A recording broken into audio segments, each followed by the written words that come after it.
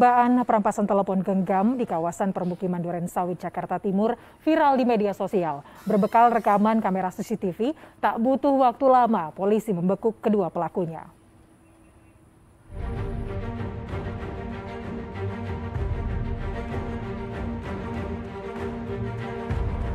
Detik-detik aksi jamret ponsel milik warga di Jalan Swakarsa Duren Sawit, Jakarta Timur terekam kamera pengawas CCTV.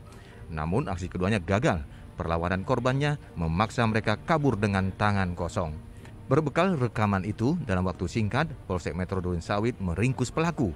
Kedua pelaku lebih banyak menunjukkan wajah saat digiring menuju ruang pemeriksaan. Selain pelaku, disita pula satu unit sepeda motor yang digunakan saat beraksi. TKP beberapa petunjuk sudah kita dapat akhirnya malamnya juga uh, langsung kita uh, tangkap pelakunya. Ternyata uh, yang ada di IG itu adalah baru percobaan pencurian, ya. Jadi orang itu rampas-rampasan, HP-nya itu nggak bisa nggak terbawa oleh pelaku, masih bisa diamankan oleh korban. Namun itu sudah merupakan tindak pidana. Hingga kini, tim penyidik Polsek Metro Duren Sawit masih mendalami dugaan keterlibatan pelaku dalam aksi di lokasi lain.